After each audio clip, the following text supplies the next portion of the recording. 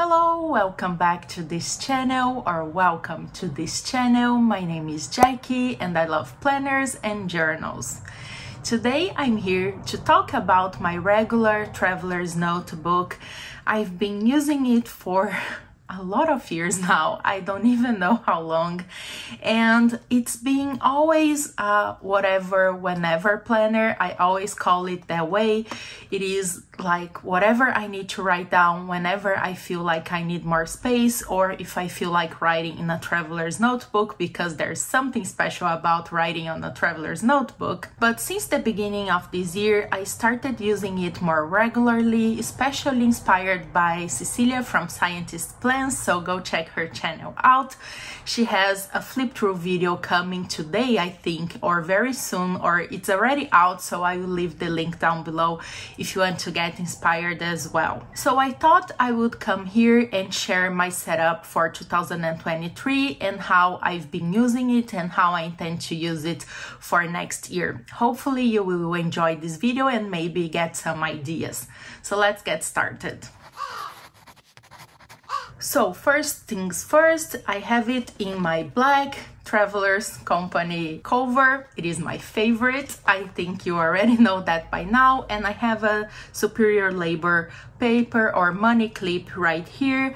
I just love how the brass is aging and I think it just adds something to this plain cover. I was using this Travelers Airlines cover because I went to Brazil and I thought it was appropriate, but now I'm back to black. I don't have any charms or anything for now, but I'm sure I will add them as the year goes by. Opening it up, I have just a pocket right here and at the back as well. Usually I keep the pencil board or a folder or tickets if I'm traveling or going somewhere or random pieces of papers. So now it's very organized, but it will get messier as I'm using it. I have the plastic Travelers Company folder and in here I just keep this fortune thing that I got when I was visiting Kyoto in Japan. I have no idea if this is good or bad. I always say that, but I feel like it brings me luck. So I think I will keep leaving it here. And I haven't taken it off this clear folder since I got it in 2018 so I will just leave it there and I just love the memories that it brings me and how it looks as well. The first thing I see when I open my planner and I look back at that trip and how I want to go back to Japan soon. It's very wrinkly. I don't know why it was not like this, but it's okay. It doesn't bother me. The first insert I have in here is the monthly one, and I have a love and hate relationship with monthly spreads like this, but I decided to get it anyway, and I really enjoyed the decoration of the cover and of this first page right here. So I think I will be motivated to use it more. But my initial idea was just to write down a summary of what happened that particular day so later on I can fill my journals if I'm behind. But to be quite frankly right away, I think I'm moving this to my passport size monthly because I feel like I don't need all of this space for this purpose. I can just very briefly write down what happened that day in topics or in bullets. So I think I will use this more as a health journal or something like that. I don't need it to be a planner. So I'm still figuring it out and we will see in January how I will decide to use this. But for December, I will keep doing this.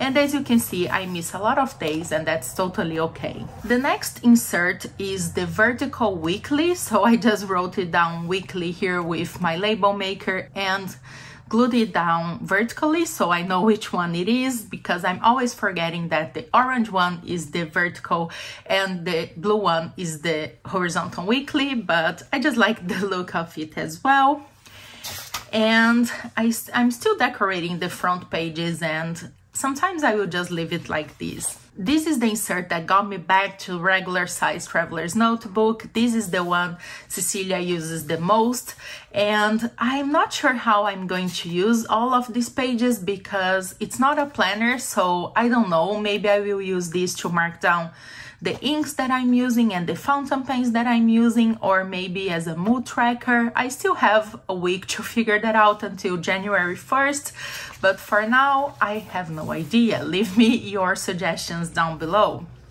So this is the first week and today is the 23rd of December. So I'm already two days behind, but it's very easy to catch up.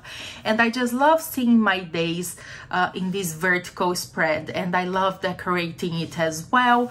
And if I have the time, I will decorate a couple of weeks ahead of time. If not, just go with the flow. This year, I'm not putting any pressures. I just want to use what brings me joy or is helping me in some way or another. This is the pencil board. I have no idea why it's in this page.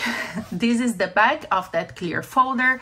And in here, I just have pieces of papers that I might use to add tippings or decoration to my weekly insert. Now we have the horizontal weekly and this is where things get complicated, more complicated. No, not I'm being dramatic. Anyhow, I also love the, the design of the covers. I think it's the first year that I kind of enjoy all of my cover designs and this is how it looks you can see the coffee theme going around and I think that's perfect because it's my thing and it's also the theme for this year's Travelers Company designs and this is exactly like the Hobonichi Weeks but you get a little bit more space as you can see and as you can also see I haven't started using it so far and I'm I don't know to be, oh my God, I have coffee everywhere. Okay, coming back, focusing.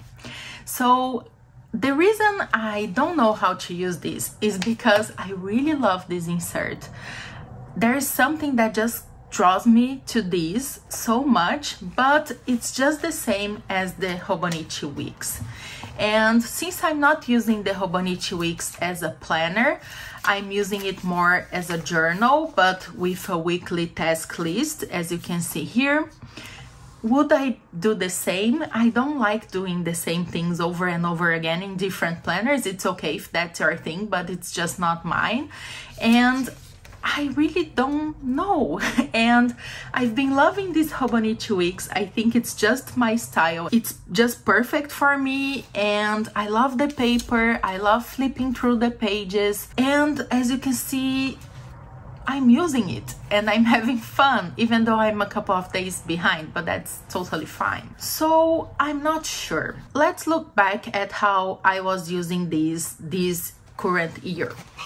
So at the beginning, it was going to be kind of my monotone journal and I had a lot of fun doing this, but I just didn't have the time or the mental strength to do this every single week. So I started having a lot of blank weeks and even though that's okay, it was more blank than filled pages and then, then I would not be motivated to get back into it. It looks great. I really enjoyed this spread, but the next one is already blank and it keeps going that way. Then when I was in Brazil, I started using this as like a main planner. I really enjoyed this layout.